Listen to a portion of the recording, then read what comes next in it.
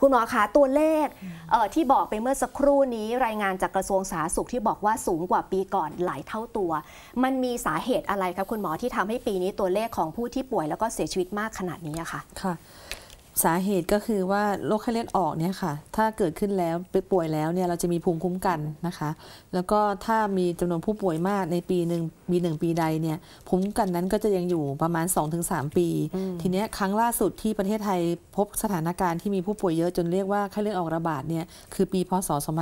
2562 ซึ่งปีนั้นทั้งปีเนี่ยเราจะมีผู้ป่วยอยู่ประมาณสี่แสนขอโทษค่ะสี่หมื่นห้าหมื่นคนตอนนั้นนะคะค่ะซึ่งเยอะมากนะคะค่ะอ่า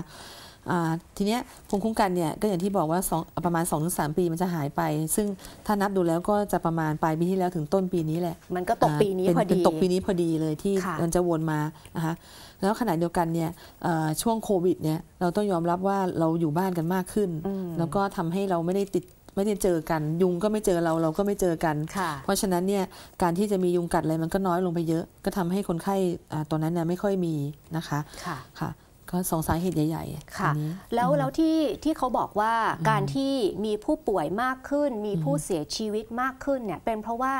เอ่อโรคมันมีความร้ายแรงมากขึ้น มีการกลายพันธุ์อันนี้จริงเท็จยังไงคะคุณหมอเอ่อสำหรับไข้เลือดออกเนี่ยค่ะ ก็มีการติดตาม แต่ว่าเราอาจจะไม่ได้ทำละเอียดเหมือนโควิด เพราะโควิดเราจะมีสายพันธุ์เยอะแยะมากมายเลยนะคะไข้เลือดออกเนี่ยเอ่อยังอยู่ในระดับในห้องทดลองที่เขาจะสนใจสายพันธุ์ แต่ว่าในสำหรับทั่วๆไปเนี่ยเอ่อยังไม่ได้กลายพันธุ์อะไรนะคะแต่ว่าไข้เลือดออกเนี่ยเอ่อจะมีสายพันธุ์ย่อยอยู่ 4 สายพันธุ์ที่เรียกกันตรงๆเลยเขาเรียกเดงกี1 2 3 4นะคะ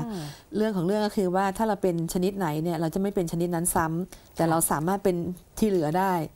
อย่างเช่นเป็นสายพันธุ์ถ้าเราอื่นใช่หมายถึงว่าถ้าเราเป็นไทป์ชิโรเดนกีหนึ่งแล้วเนี่ยเราจะไม่เป็นเดนกีหนึ่งซ้ำแต่เราจะเป็นสองสามสี่เนี่ยได้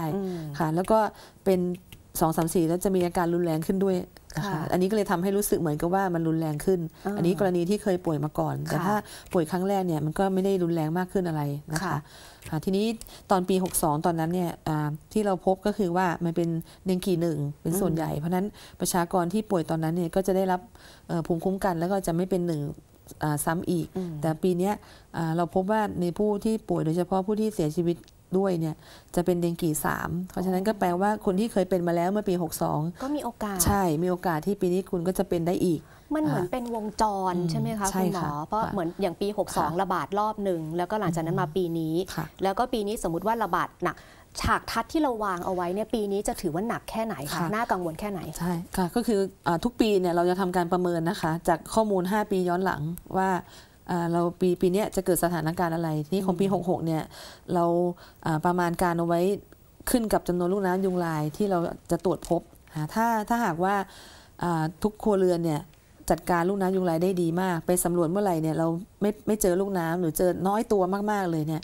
ค่ะอ่าสถานการณ์ตอนเนี้ยที่ที่เราเห็นจำนวนผู้ป่วยอยู่เนี่ยจะทำให้เรามีผู้ป่วยทั้งปีประมาณ 40,000 ซึ่งถือว่าไม่มากเท่าไหร่นะคะอ่า แต่ถ้าสำรวจแล้วยังเจออยู่นะแต่เจอไม่สูงมากเขาเขาเรียกว่าเป็นค่า house index หรือว่า container index เนี่ยอยู่ในช่วงของประมาณ 10%ประมาณว่าร้อยหลังคาเรือนเจอสัก 10อะไรอย่างเงี้ยค่ะ อันเนี้ยจะเป็นฉากทัดที่2ก็จะเจอผู้ป่วยประมาณ 90,000 คนนะคะก็ก็เยอะอยู่เนาะเยอะค่ะอ่าแล้วอันสุดท้ายเนี่ยถ้าหากว่าอืมสำรวจเมื่อไหร่ก็เจอ แล้วก็เจอกันแทบจะทุกบ้านเลยเนี่ยค่ะอันเนี้ยก็จะทำให้ผู้ป่วยเป็นประมาณแสนห้าหมื่นคนได้ ทีเนี้ยดูสถานการณ์ตอนเนี้ยเรา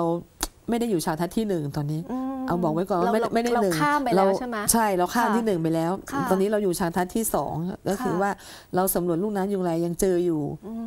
เนี้ยเพราะฉะนั้นเนี่ยเอ่อถ้าถ้าเราต้องการจะให้มันกลับไปเป็นฉากทัดที่หนึ่งเราต้องจัดการลูกน้ำยุงลายกันตอนนี้ก่อนค่ะแต่ทีนี้อันนี้ภาพเราภาพรวมก่อนเนาะค่ะว่าอ่าถ้าเราปล่อยไว้เนี่ยก็จะเป็นอย่างนี้ยค่ะค่ะ